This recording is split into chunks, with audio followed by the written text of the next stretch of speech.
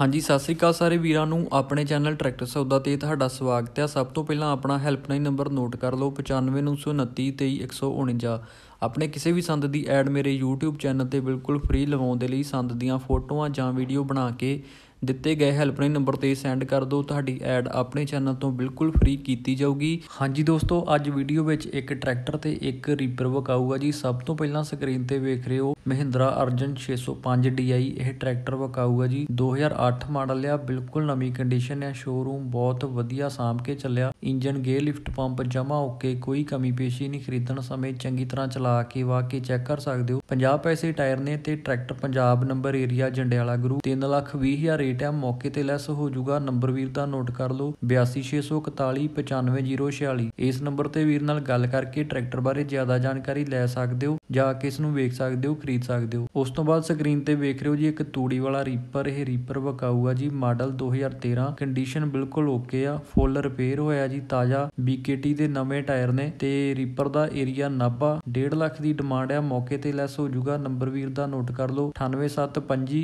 51931 ਇਸ ਨੰਬਰ ਤੇ ਵੀਰ ਨਾਲ ਗੱਲ ਕਰਕੇ ਤੁਸੀਂ ਰੀਪਰ ਬਾਰੇ ਜ਼ਿਆਦਾ ਜਾਣਕਾਰੀ ਲੈ ਸਕਦੇ ਹੋ। ਅੱਜ ਦੀ ਵੀਡੀਓ ਵਧੀਆ ਲੱਗੀ ਤਾਂ ਵੀਡੀਓ ਨੂੰ ਲਾਈਕ ਕਰੋ ਸ਼ੇਅਰ ਕਰੋ ਤੇ ਚੈਨਲ ਨੂੰ ਸਬਸਕ੍ਰਾਈਬ ਜਰੂਰ ਕਰੋ।